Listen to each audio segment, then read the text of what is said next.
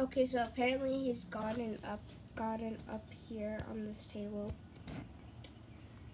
Um, we're just gonna let him be. So yeah, but we'll keep you guys updated. I captured him and now he's my pet.